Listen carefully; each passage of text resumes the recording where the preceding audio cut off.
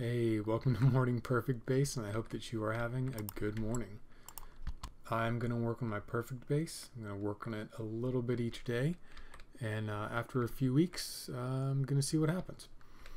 So, my goal here at Morning Perfect Base is uh, calm, informative news and some opinions.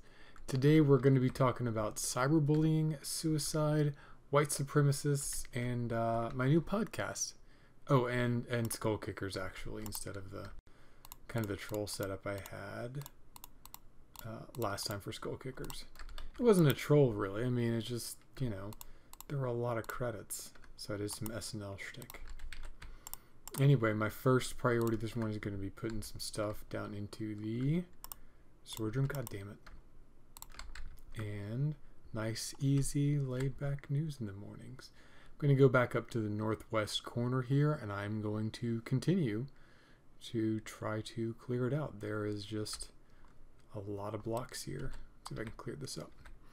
Anyway, Bully Hunters. Uh, Bully Hunters was this uh, attempt by a marketing company, I think it's called FCB, to stop bullying by making a group of gamers to find bullies online and like counter bully them and they did like this live event where uh, you know they, they showed like the, their collection of kind of a justice league of anti-bullying gamers. Finding folks online finding bullies online and then counter bullying them into not being bullies anymore. Uh, that live event the event itself was live but the actual gameplay was pre-recorded. And then there were some issues with um, oh what is that you know, where there was like sponsorship issues, and then one of the gamers they picked out had like said a homophobic slur like five years ago or something, maybe three years. I don't know. Anyway, lots of people got really bent out of shape about it, uh, and the marketing agency decided not to. That's clearly a skeleton I can hear in the background. I don't know if you can hear it. Um, people are outraged about it. I don't know. Where I differ is in the "don't bully bullies" response. Uh, and and the issues with one part in the the homophobic slur stuff like um certainly there's potential for abuse. And uh, i also think that maybe some people do say homophobic things and they can grow as people. I think when someone says hey that's who i am that's doesn't mean anything and they get defensive about it i think that's you know shitty. Uh, about calling things gay or whatever. Or, or you know, calling people faggots. That's all shitty. But, you know, you have to accept that some people move past it. Now, is, uh, what's her name with the gamer in question? I don't know anything about her. Uh, and certainly when she's when she's in a lot of public hot water, she's gonna say, "Hey, that was a long time ago." Uh, you know, if you're that worried about it, you can read up on it. But it's I think the core issue here is if the system allows abuse, we should work to fix it, not exploit the same flaws as shitty people. That's it's kind of been the rallying cry from people. The same people who never really want to do anything because it might be the wrong thing. They never actually want to solve a problem.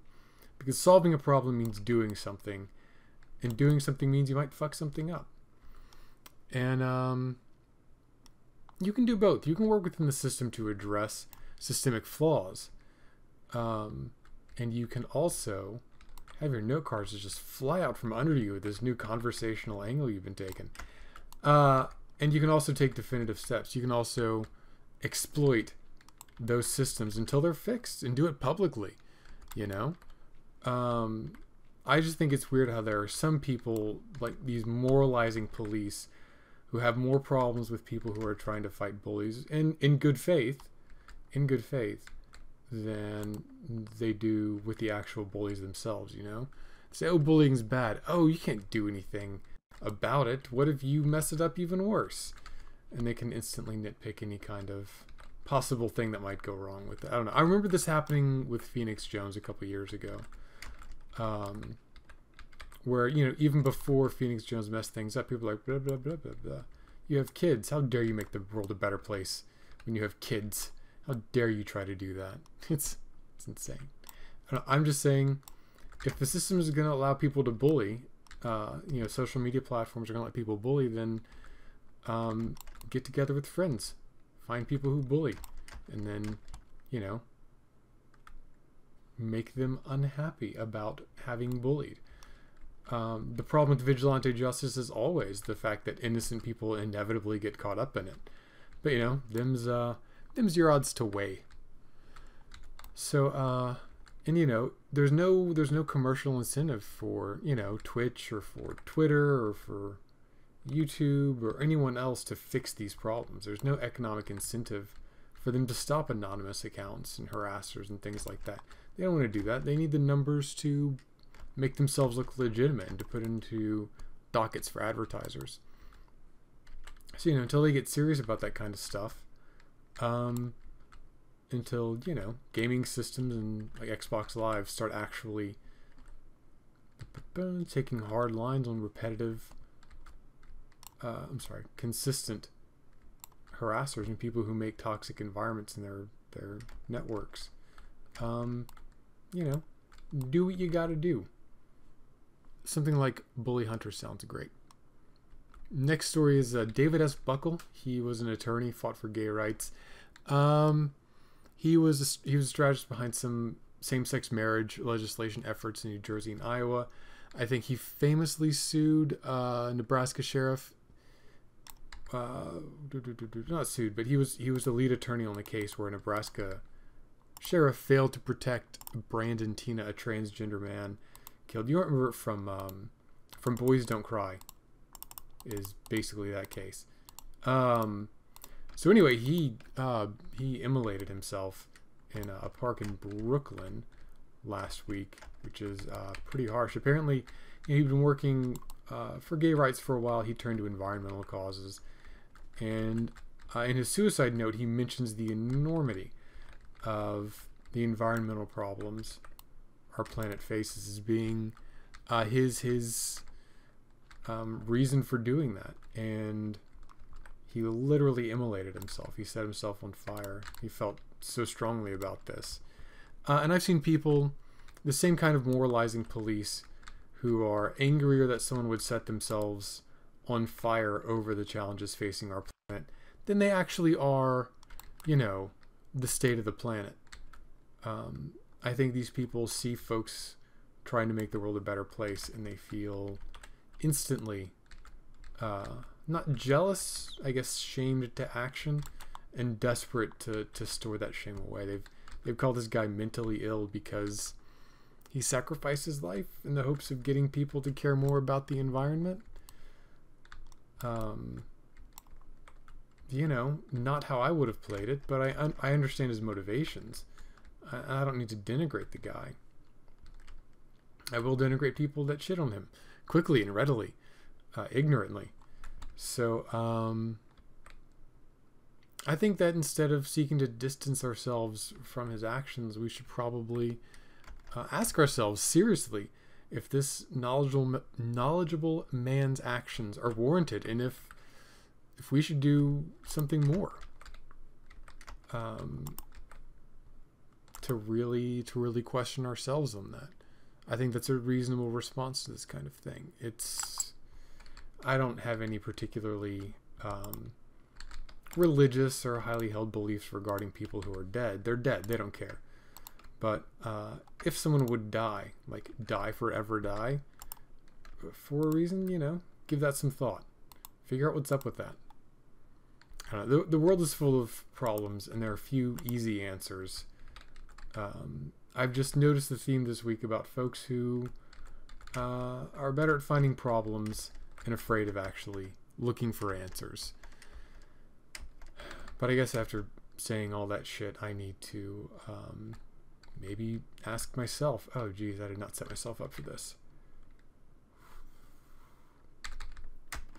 If there's more I could be doing for the environment. Yes. Awesome. I'm glad I got that on tape. I'm pretty sure I started recording this. All right, so let's quit cutting this end because that was pretty stupid. Uh, oh yeah. There's a guy at uh, Beaver Dam, Wisconsin. Some dumb shit blew himself up. He, uh, he had so many explosives in his apartment that the fire department's like, nope, just burn it down. And they did a controlled demolition of his apartment building. Didn't even let people into their apartments. Just kind of blew it up where it stood. Apparently he'd uh woo, he'd he was working on a pressure explosive and it exploded. So, you know, half credit. Uh, the ceiling had collapsed in on him, pinning him over the stove. Uh, and the, the first responders found tons of explosives, a barrel of acetone. There was some sensationalistic language in the original article, which I won't bother sharing. But uh, the real laugh line is the dude had white supremacist literature in his apartment, which isn't surprising. Um, I don't know if there are many recreational bomb makers here. The police, though, they were like, uh, I don't know, this bomb maker from White Sylvania might have been doing research. I mean, admittedly, that's possible, but it's probably white supremacy, and you know, fuck that guy. Uh, like he's he's got white supremacist literature and he's making bombs. That dude just has the worst drawl and hobbies, right? Just it's like, look, I'm not making bombs to kill dark people, but uh, I'm just really curious about white supremacy, and I really like, you know, chemistry, applied chemistry. Super love applied chemistry. I just it's it's just insane that a police officer could say that with this like I realize okay, you're there's a case ongoing and you don't want to be like dude is a white supremacist cuz you don't want to get your um you know, your people in trouble. You don't want to jump to conclusions as a responsible civil servant. But uh I don't, I don't like playing the if this had been different game, it would have been different, right? Because that's a stupid game. Oh, if this had been whatever, it would have been like, well, it wasn't that, so we don't really know. But I do strongly feel like that reluctance to ascribe radical motivations to this guy may not have been felt uh, if there were some different issues on this about his case. I just feel strongly like it would have been treated differently. So um, I don't know. I'd, I'd, rather just stick to facts and just say, hey, um, this guy's probably white supremacist. You know, I'd, I'd, you know, I'd lay odds. So, um, oh, I got a new project. Uh, Ceci n'est un Star Trek. It is an Orville podcast. Uh, I'm doing it with a longtime listener of the the Beige and the Bold that I do with Derek.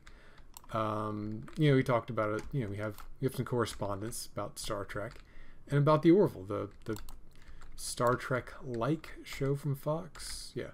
Um, and so we decided to do a podcast with it. He's kind of new to the scene, and we're we're actually doing a like not a watch along.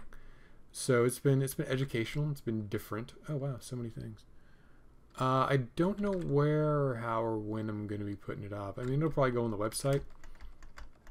I may look into an alternative hosting service just to look into that and see what happens there because we're only going to make like 13 episodes, so it may not be a big deal. So um, it still requires so much editing though. Hopefully, it'll be about 20 minutes, just freeform talking about the Orville and Star Trek, and mostly the Orville. Hopefully, our first episode did not um, encourage a lot that we're going to be able to stay on that topic. But uh, the beige and the bold thing going on to YouTube is something I've been meaning to get on with, and I just haven't. Um, I just don't know about the visuals. I don't know if I want to do episode stills or modified episode stills, or if I want to commission art or do art myself, which I'm not capable of. It's going to be pretty terrible art. Um, probably quicker and easier than probably quicker and easier than, than commissioning art or in modding images.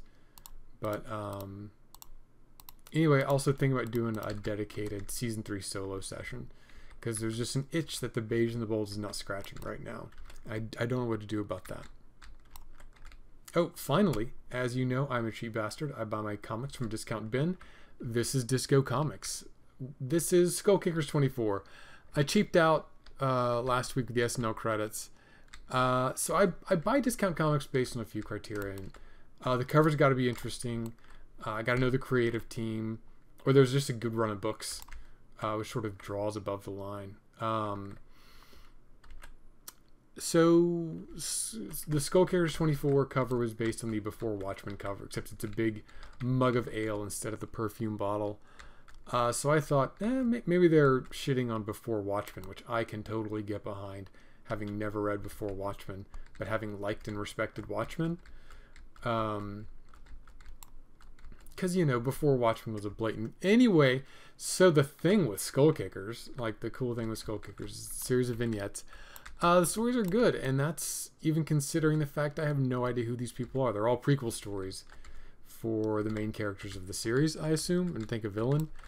Uh, there's a funny story of an elven of an assassin's elven training, an elves assassin training, uh, dwarf's quest for an adventuring partner, an incomprehensible bit by Shub Niggurath from Marvel vs. Capcom, I think. Uh, kind of a boring but mildly titillating tale about a fantasy setting cowboy and a fantasy setting bobcat. The, the cowboy does does not fuck the bobcat. It's just it's different because like, like attractive male nudity. I don't know, but not like. Eh, it's just sort of there. Um, not unwelcome. Not not. I mean, it's necessary to the story because it's like he's in, he's brought low by this bobcat, and that involves humiliation often. Um. Anyway, not not sex humiliation, just regular. So that's all we have for today. Uh, you know, I think I got a little bit done here, maybe less than I, I wanted to. Wow, this is just a big block of land. But uh, until I get a good sign off.